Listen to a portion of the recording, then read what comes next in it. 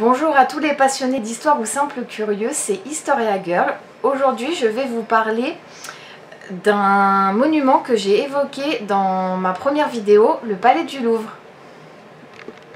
Le Palais du Louvre est un ancien palais parisien de plus de 135 000 m2, situé dans le premier arrondissement de Paris sur la rive droite de la Seine. C'est le plus grand palais européen. Sa construction s'étend sur plus de 800 ans. Bien que le plan général du bâtiment ait été imaginé qu'à la Renaissance, il abrite actuellement le musée du Louvre. Son nom vient du fait que la première forteresse du Louvre a été bâtie sur un lieu-dit nommé en bas latin Lupara, qui signifie une louverie, qui est un lieu servant à abriter les équipages de chasse aux loups. Il est dit aussi que Lupara peut vouloir dire lieu infesté par des loups. Il y a une autre hypothèse qui dit que le nom Louvre vient de l'ancien français Lower qui signifie tour de guet. C'est en voulant renforcer la défense de la ville de Paris afin d'en faire le centre politique et religieux du royaume que Philippe Auguste entreprend de faire construire une grande enceinte entourant la ville de Paris avant de prendre part à la troisième croisade avec Richard Cœur de Lion. Le côté ouest de Paris étant considéré comme le plus exposé sur les bords de Seine face à la Normandie, il fallait renforcer cette partie de l'enceinte. Le roi a donc acheté le terrain aux religieux de Saint-Denis de la Châtre et à l'évêque Maurice de Sully. Il fait alors construire une forteresse constituée d'un donjon appelé la Grosse Tour du Louvre. Le donjon a un diamètre de 15 mètres avec une épaisseur de mur de 4,20 mètres à sa base et une hauteur de 32 mètres. Il est entouré d'un fossé circulaire sec de 10 mètres de largeur et 6 mètres de profondeur. Il est situé dans une cour rectangulaire de 72 et 78 mètres de côté. L'enceinte est renforcée de 10 tours de défense et on l'a franchie par deux portes avec pont-levis situées au sud et à l'est. Deux bâtiments sont accolés au mur d'enceinte au sud et à l'ouest de la cour centrale. Les travaux sont terminés en 1202 car un document cite la tour du Louvre comme construite à cette date. La tour a servi de prison.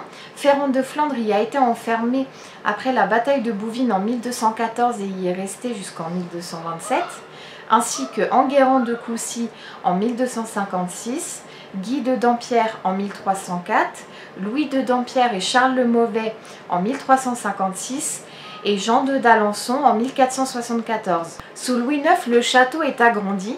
On y construit de nouvelles salles sans réel but défensif, comme la salle Saint-Louis. On y transfère le trésor royal, ce qui donne un nouveau caractère à la forteresse. C'est au château du Louvre que la veuve du roi Louis X le Hutin donne naissance à Jean Ier le Posthume, qui est mort cinq jours plus tard.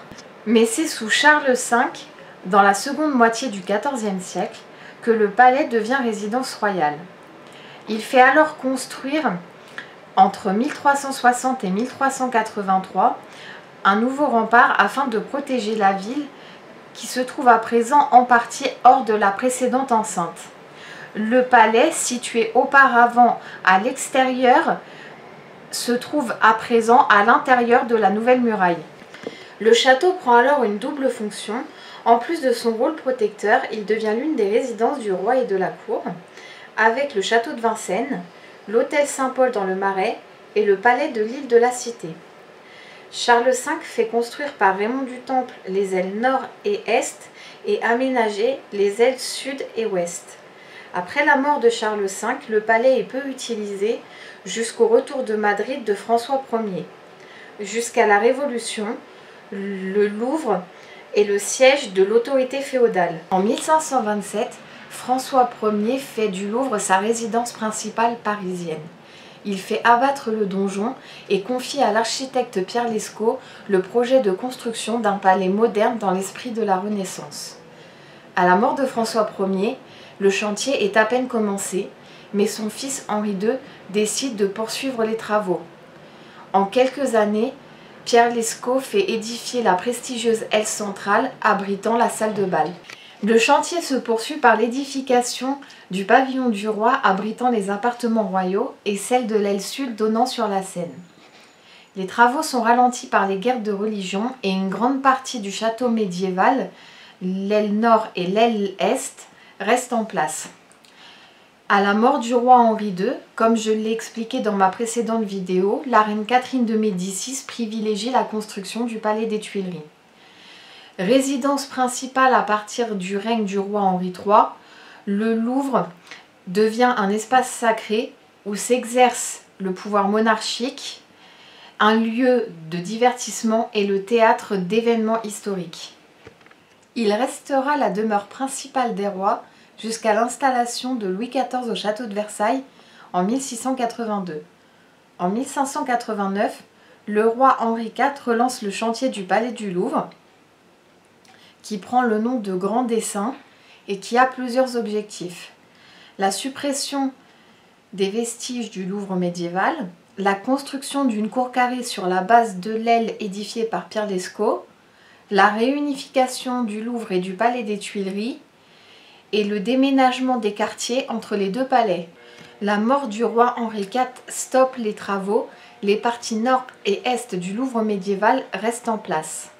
L'absence de travaux lors de la régence de Marie de Médicis permet l'installation des hôtels particuliers des grands du royaume. Donc lorsque Louis XIII reprend l'idée du grand dessin, il est difficile de poursuivre exactement l'idée d'Henri IV. Il fait démolir la partie nord de l'enceinte médiévale afin de prolonger l'aile Lescaut. C'est l'architecte Jacques Lemercier qui est alors chargé des travaux de modernisation du vieux Louvre. Il commence par faire reprendre les travaux de la cour carrée. Au nord de l'aile Lescaut, il fait construire le pavillon de l'horloge qu'il prolonge d'une autre aile identique à celle de Lescaut. Le roi fait appel au peintre Nicolas Poussin afin de décorer la grande galerie mais celui-ci regagne l'Italie un an après avoir débuté son travail qui reste donc inachevé. Louis XIII meurt un an après sans que personne n'ait repris le travail de Nicolas Poussin. Lorsque Louis XIV s'installe au palais du Louvre en 1652, il fait construire les appartements de la reine-mère par Jacques Le Mercier jusqu'à sa mort, puis par Louis le Vau. Louis XIV demande à ce que des appartements soient prévus pour lui également. En 1657, l'idée de reprendre le grand dessin et de réaménager l'accès oriental du Louvre est discutée. Le duc d'Orléans s'en indigne car cela entraînerait la destruction de l'hôtel du Petit Bourbon qui lui appartient. Louis XIV fait acheter les hôtels particuliers qui gênent la construction du grand dessin afin de les faire détruire. En 1659, il fait abattre la vieille cour des cuisines afin de dégager l'emplacement de l'actuelle cour carrée. En 1661, un incendie se déclare dans la petite galerie qui doit être reconstruite par Louis le Vau. Par la suite, l'abandon du palais du Louvre par Louis XIV qui s'installe au château de Versailles en 1682 laisse le palais parisien inachevé.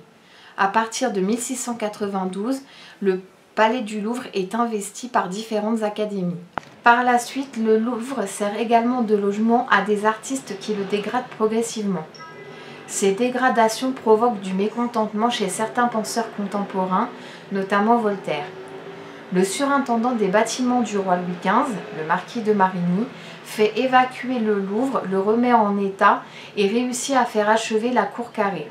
En 1789, l'idée de faire un musée à partir des collections royales est évoquée et le 21 juin de la même année, l'idée est adoptée par les États généraux.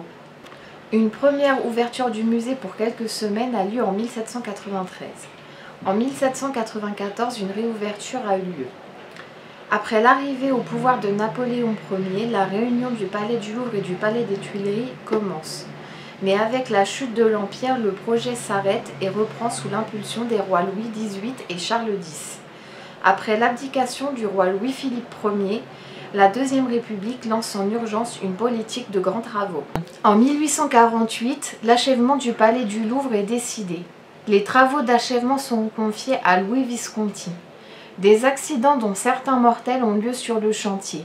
On compte 527 blessés et au moins 9 morts entre juillet 1852 et fin décembre 1853. Par la suite, Visconti demande et obtient un médecin et une ambulance pour le chantier. Après la mort de Louis Visconti suite à une attaque d'apoplexie, le chantier est confié à Hector Lefuel. Le palais est achevé et inauguré par Napoléon III le 14 août 1857. Pendant la période du Second Empire, un ministère appelé ministère d'État est installé dans l'aile Richelieu. Après les événements de la Commune de Paris et l'incendie du Palais des Tuileries et d'une partie du Palais du Louvre, le gouvernement charge Hector Le Fuel de reconstruire la partie du Louvre détruite par l'incendie. Entre 1981 et 1999, des travaux de modernisation du palais du Louvre sont lancés, car jusqu'en 1989, une partie du palais a abrité le ministère des Finances. C'est à cette occasion que fut construite la, célèbre pyramide de verre par l'architecte Yeo Ming-pei. Le palais accueille aujourd'hui le musée du Louvre qui compte actuellement environ 35 000 œuvres, les arts décoratifs, l'école du Louvre, le Centre de recherche et de restauration des musées de France, les galeries commerciales du Carrousel du Louvre, les espaces d'exposition Carrousel du Louvre de Paris Expo sur 7100 mètres carrés. Le Palais du Louvre et ses alentours sont classés monuments historiques. L'Arc de Triomphe du Carrousel en 1888, le Palais du Louvre en 1889 et le Jardin des Tuileries en 1914. Nous arrivons à la fin de cette vidéo. Si elle vous a plu, N'hésitez pas à commenter et à me donner vos idées pour de prochaines vidéos. Vous pouvez mettre un pouce bleu et me suivre sur Instagram. Le lien est dans la description. N'hésitez pas à partager et je vous dis à bientôt pour une prochaine plongée dans l'histoire.